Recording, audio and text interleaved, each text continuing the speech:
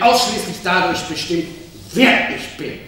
Roy Kuhn ist kein Homosexueller. Roy Kuhn ist ein heterosexueller Mann, der mit Typen boxt. Okay, Roy. Also, wie lautet meine Diagnose, Henry? Du hast AIDS.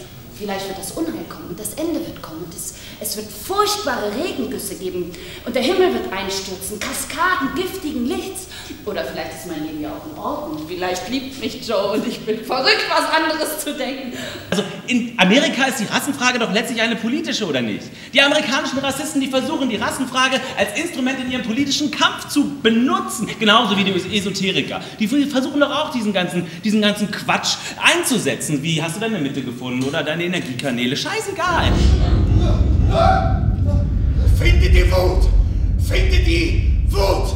Mein Blut ist rein! Mein Kopf ist klar! Ich kann Druck aushalten! Ich bin ein schwuler Mann! Und ich bin Druck gewöhnt! Oh, Zeigt mir das Buch der nächsten wunderschönen Theorie und ich bin auf den Barrikaden. Zeigt mir die der Welt eine neue Ordnung geben oder schweigt still. Ich bin kein Mann mit Vorurteilen, diese ganzen rassistischen Typen, alles Deppen. Man muss immer im Auge behalten, wo der wirkliche Gegner sitzt. Ich hebe mir meinen Hass für das auf, was wirklich zählt. Oh! Wo haben Sie den nun wieder her?